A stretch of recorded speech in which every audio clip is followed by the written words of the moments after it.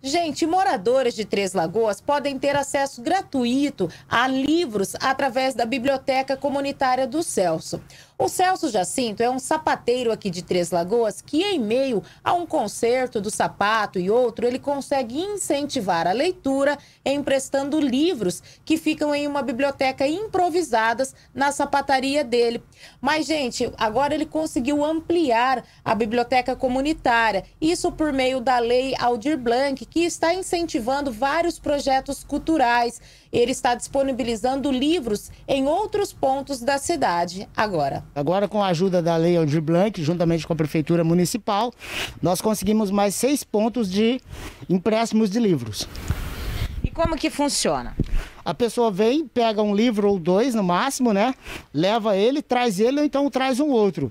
Não tem nada de burocracia, tudo pela autoconfiança, porque a nossa prioridade é incentivar a autoconfiança de cada um.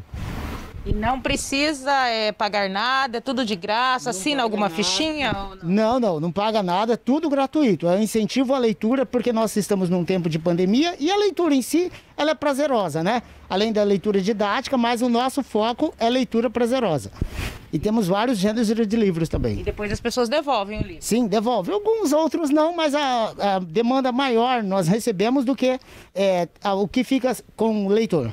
É, são doações esses livros que o senhor... Exatamente, nós recebemos tudo através de doações. Temos vários amigos que doam, temos vários leitores também, assíduo, né? De diferentes graus, assim, de cultura, financeiro, idade, desde a criança até o mais idoso. Todos Bom, e através desse, desse projeto da Lei Aldir Blanc, o senhor está expandindo esse trabalho. Hoje existem outros pontos com os livros do senhor. Exato, nós estamos expandindo. Temos no shopping Três Lagoas, né, ali. É, nós temos na Teia Criativa, aquela loja. Eles também são parceiros nossos. Temos uma biblioteca lá. Nós temos também na Casa da Cultura temos uma biblioteca. Nós temos na loja Sempre Chique e Caça e Pesca, temos outro. Na professora Cidinha Mariano, que é a escola de música, temos outra também. Agora em breve no Tiago Ramalho. E também no departamento de cultura. Temos uma biblioteca lá também à disposição dos leitores, fora aqui na Sapataria Real, que é onde tudo começou. Quantos livros são, o senhor tem? Quantos exemplares? A partir de mil nós temos. Nós já fizemos algumas intervenções também em praças, essas coisas na ruas, quando estava tudo aberto, né? E logo iremos fazer outra intervenção, mas com todo, assim, com todo o cuidado necessário que se precisa devido ao problema da Covid-19.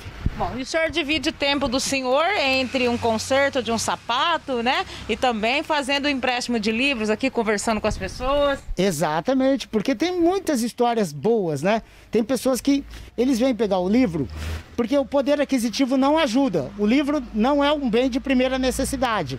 Então, quer dizer, aquele que não tem um recurso financeiro, mas gosta de ler, ele passa aqui para escolher um livro que é totalmente gratuito. Tem muitas pessoas ainda que leem? Muitas pessoas. O mito que o brasileiro não lê, ele caiu por terra aqui em Três Lagoas, juntamente com o nosso projeto, porque são muitas pessoas que leem.